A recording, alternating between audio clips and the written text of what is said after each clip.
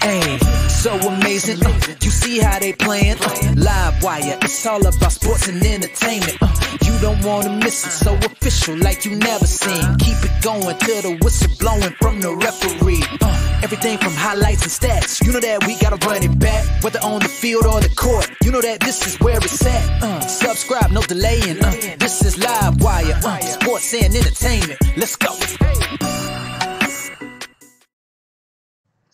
All right, guys, what's going on? This your boy Livewire Sports Media. All right, so the WNBA All Star game has come and gone, and to my surprise, hey, I have to say I really enjoyed it. Um, the game was exciting. It was intense. You got a little physical in the beginning. Um, you saw Kelsey Plum and Kelsey Mitchell got into it. You know, a little shoving. Then you seen Diana Taurasi, Caitlin Clark playing with a little shove and push. Um, but the one thing you can count on is they always going to blitz Caitlin, no matter what. They're gonna always blitz Caitlin, no matter what.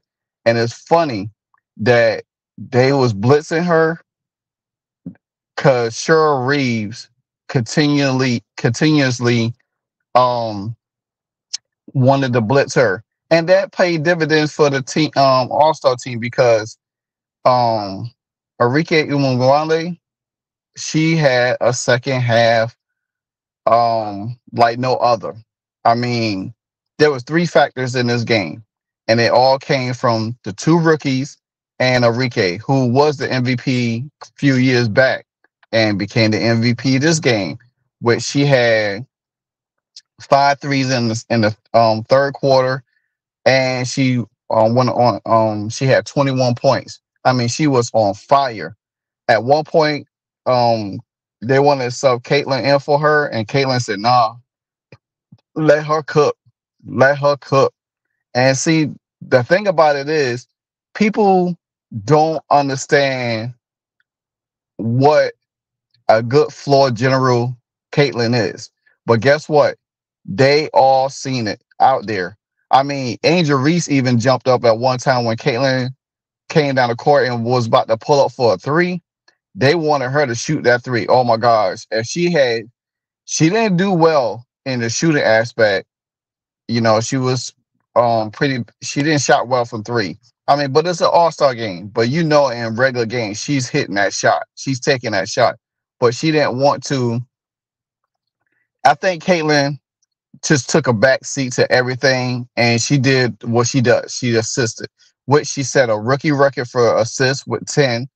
Um, Angel Reese set a record for double doubles in the WNBA game. And Arike scored 34 points, the highest points in a WNBA. So those three factors stand out. But make no no make no make no mistake. Caitlin Clark drew a lot of attention. Now, I watched somebody's video last night and I was reading the comment section, and a lot of people was talking about Caitlin wasn't out there having fun. Um, it was like Angel Reese was out there joking around with the vets.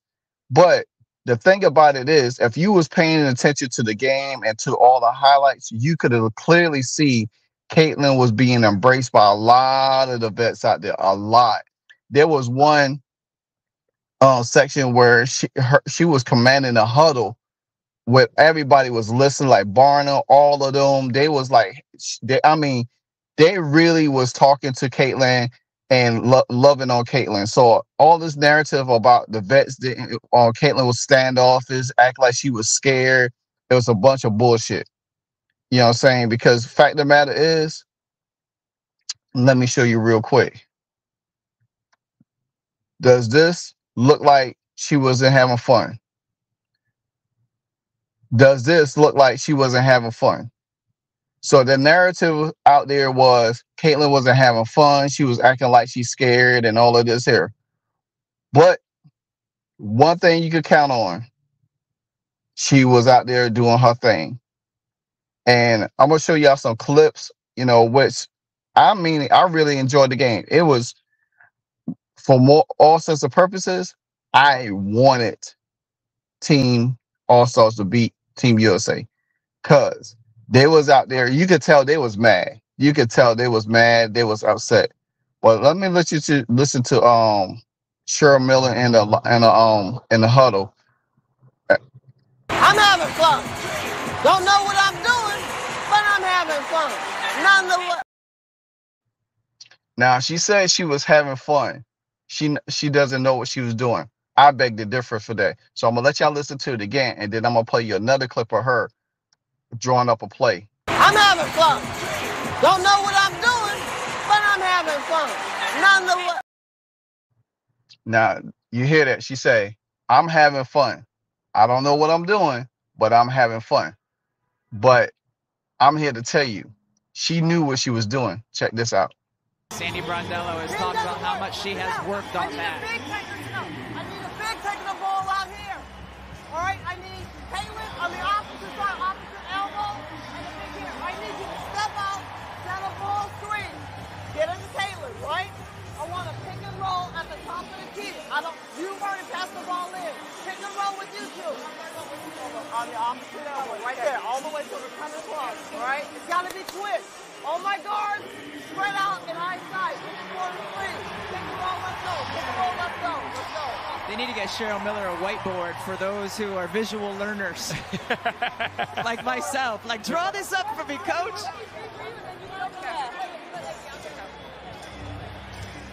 Hideko Gumake helping too. That see that right there goes to show you a coach. Now she one thing about Cheryl Miller, she's old school. You see, she was directing and telling you where to go. Most coaches use whiteboard to draw draw their position. And like Aliyah Boston was like, you know, asking her where, and she said right there, right there. And then you see how she was drawing up a play for Caitlin. Christie Sides would never, would never ever draw up a play for Caitlin. Never draw up a play for Caitlin, say the least. So you could tell the distinction of a real coach and a coach that knows what she's doing. You know what I'm saying? Because Christie Sides doesn't draw plays up there.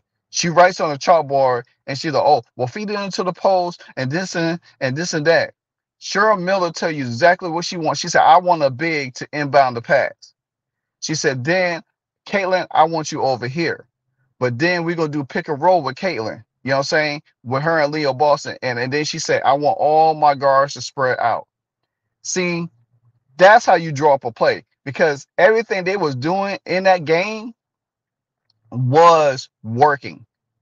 You know what I'm saying? Rather, you can say it's an all-star game, don't take it too serious.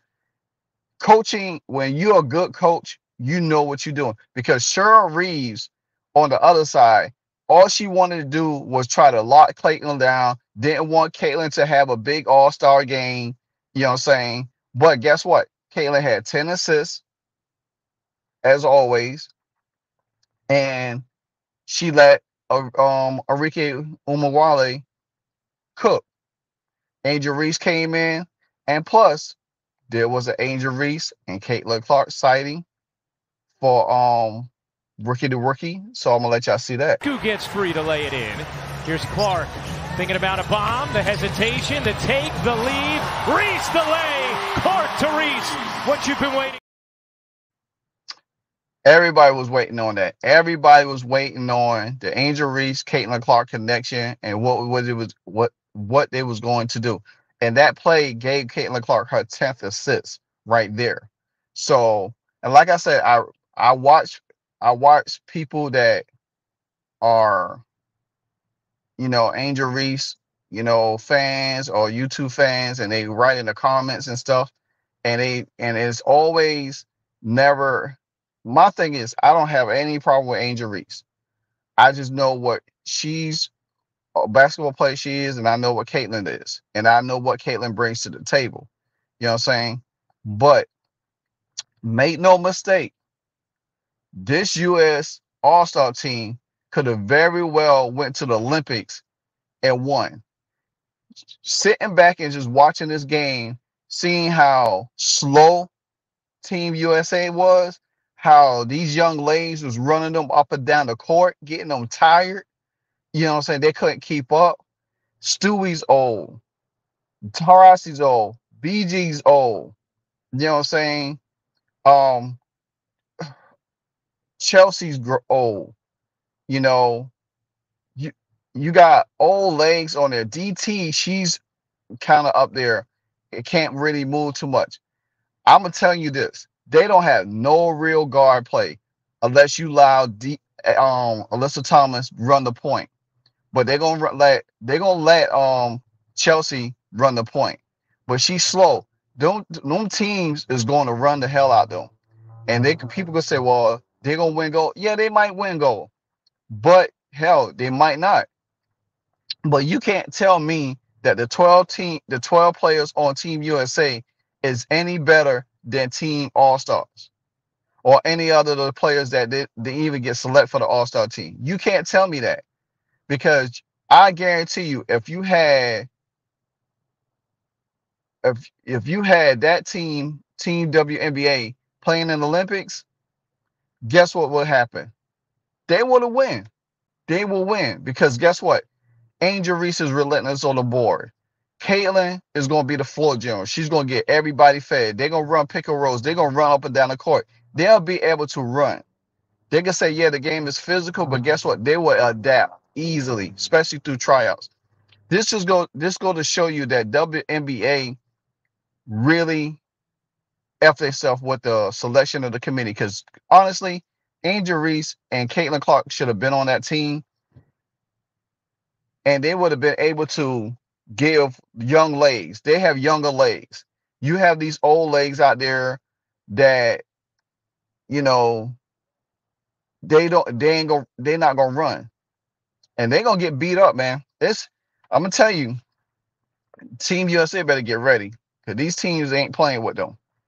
Now, I'm gonna show you another clip of Jonquel Jones um, receiving a pass from Caitlin Clark, which was such a thing of beauty. I mean, Caitlin passing is second to none, man. She is the best floor general, the best playmaker in the WNBA. I mean, we already know what she can do scoring, but when it comes down to um, distributing the ball, yeah, Candy at the three. Boston the rebound, getting her first minutes. Clark the flick ahead. Oh, what a dime from Clark! And Jones lays it in. A gorgeous pass from Caitlin Clark. This is one of the things that makes Caitlin Clark elite at the very top in terms of players in the WNBA when it comes to passing. Head up, throws it only. that was a thing of beauty, man. That was a thing of beauty. So my thing is this, man. This All Star game had everything that it was built up to be. I really enjoyed it. Um, I wasn't expecting much from it, but it did exceed my expectations, and it definitely did raise some eyebrows when it came to the Olympic and selection committee. Um, you could tell Cheryl Reeves still took another L from Caitlin Clark, which is funny to me because she now you can tell her goal now is to beat Caitlin Clark. It's personal with her. It's personal. So the second half of the season, when the Lynx do play, um, you didn't even see Napheesa Collier out there playing. So I don't know what the deal with her, or if she's going to be able to participate in the Olympic Games. So I don't know. So we'll see about that. But Cheryl Reese took it on the chin again. Christie Sides, you need to take notes. Take notes for Cheryl Miller because you never know. She might be the one that's going to be taking your job.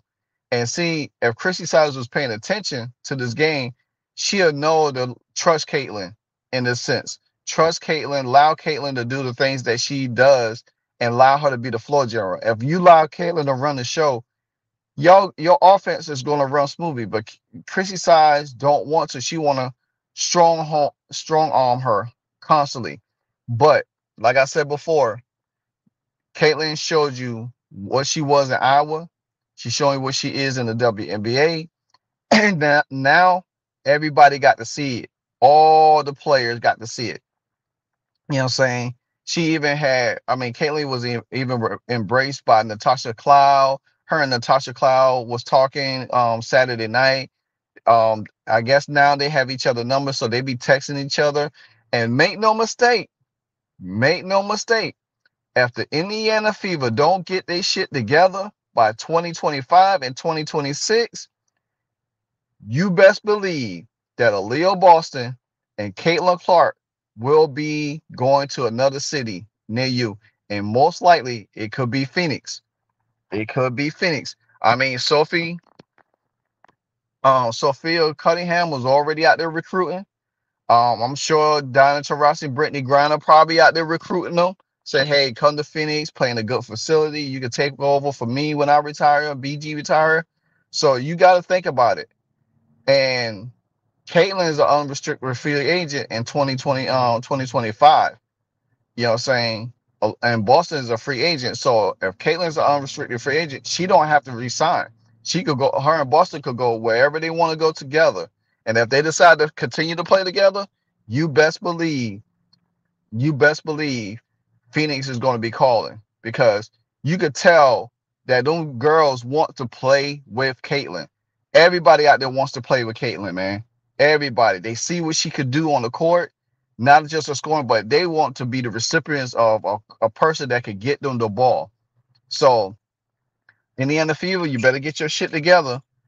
Cause um, to be honest with you, you want to order to keep Boston and Clark, you're gonna have to fire Christie Sides at the end of the year to bring a real coach in to bring people to that destination because people going like I said, people want to play with Caitlin Clark.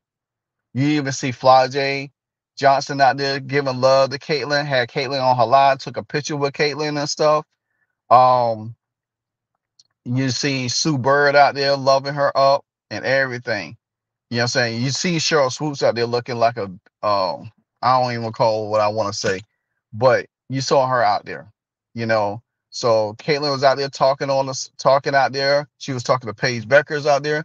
So everybody, everybody got to see Caitlin Clark and Angel Reese display. But you know, people keep saying that, hey, you know, putting this negative about Caitlin. She was out there just having fun, man.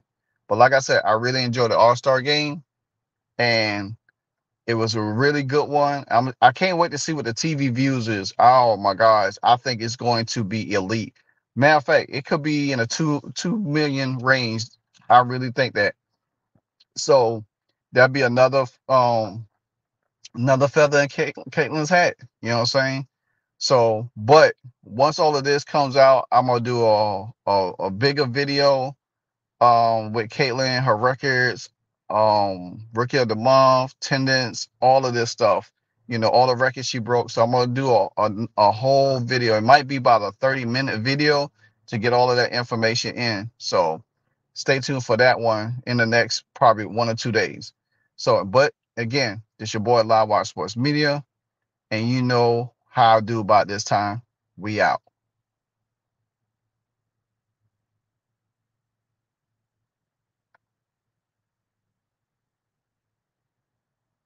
Hey, so amazing. Uh, you see how they playing? Uh, live wire, it's all about sports and entertainment. Uh, you don't wanna miss it, so official like you never seen. Keep it going till the whistle blowing from the referee. Uh, everything from highlights and stats. You know that we gotta run it back, whether on the field or the court. You know that this is where it's at. Uh, subscribe, no delaying. Uh, this is live wire, uh, sports and entertainment. Let's go.